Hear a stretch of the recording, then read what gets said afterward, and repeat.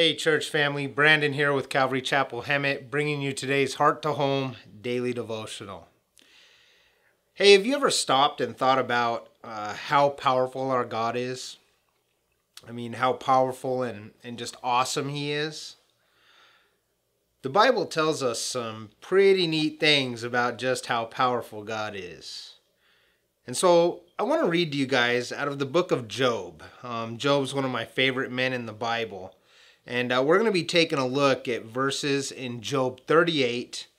Uh, so let me read you the first one. And I just I just picked these verses out because uh, they're some of my favorites in this chapter. But the whole chapter is really cool. Um, and I love this because in my Bible, this chapter is titled God Reveals His Omnipotence to Job.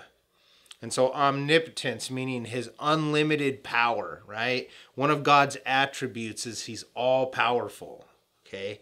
And it starts out with God speaking to Job in verse 3, and he tells Job this He says, Brace yourself like a man. I will question you, and you shall answer me. Interesting. Brace yourself or prepare yourself like a man. So, for the men out there, uh, this is proof that God expects men to act like men, um, but that's a different Devo. Anyways, God really starts revealing to Job just how powerful he is by asking him a series of unanswerable rhetorical questions. And so in verses 34 through 35, God asks Job this he says, Can you raise your voice to the clouds and cover yourself with a flood of water? Do you send the lightning bolts on their way? Do they report to you? Here we are. These verses are some of my favorite in chapter 38 because, guys, our God is so powerful. I mean, he speaks and the clouds open up and pour out their rain. He says to Job, Can you do that to yourself? And he's so powerful that, that he literally tells the lightning bolts when they can go out. And even the lightning bolts acknowledge him as God and say to him, Here we are.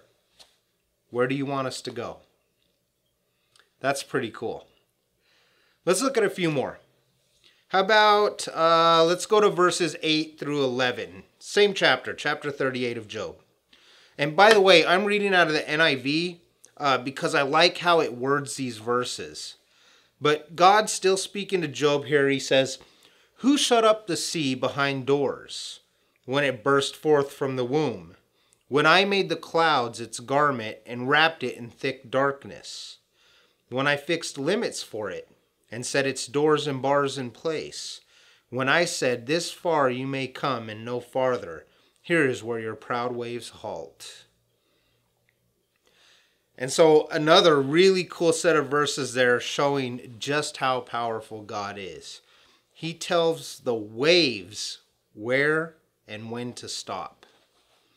So, next time you head out to the beach and you watch the waves crashing and you see the waves come up on the sand and then roll back out in the ocean, stop for a minute and think about it. The reason they stop right there is because God tells them to. I could go on all day about how powerful God shows himself in Job 38 and 39, actually. Um, and I encourage you to read those two chapters. And after you do, I want you guys to remember this it is the same God, the one who tells the lightning bolts where to go, the one who tells the waves where to stop. That God, He is your heavenly Father. So, why are we talking about how powerful God is right now? Let me close with asking you this question What is it that's troubling you today? What is it that's going on in your life right now that, that has you so worried? Read Job chapter 38 and 39 and then ask yourself if that thing is more powerful than the God who promises he is for you and He loves you. Let's pray.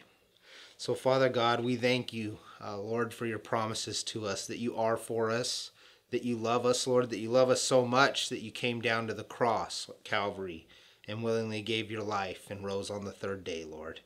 We thank you for that, Lord. We see how powerful you are in, in the scriptures, Lord. That you tell the waves where to stop, that you loosen the belt of Orion, and, and all these other just awesome things, Lord, that we can't even comprehend.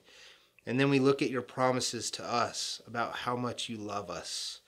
And we realize that our Heavenly Father is more powerful than anything, anything in this world, more powerful than any problem, more powerful than any trial, more powerful than what causes us to worry sometimes. Help us to remember that, Lord. We love you, we praise you, and it's in Jesus Christ's name. Amen.